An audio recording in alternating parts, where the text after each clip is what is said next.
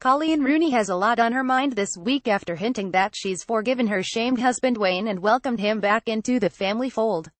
So you can forgive the pregnant mum of three for neglecting her usually immaculate appearance as she stepped out for coffee in Alderley Edge near her family pile in Cheshire.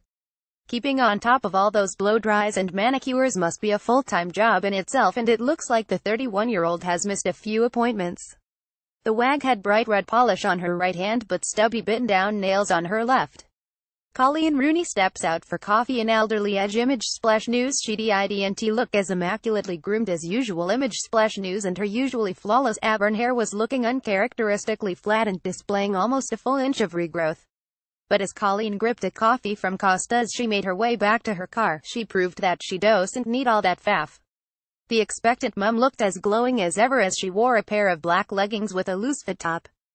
Throwing a grey and navy blue fur gilet over the top she kept her baby bump nice and snug.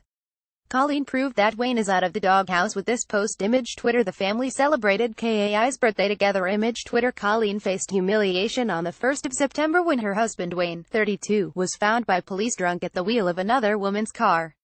The footballer is believed to have been planning a kiss and cuddle with office work Laura Simpson when cops pulled him over.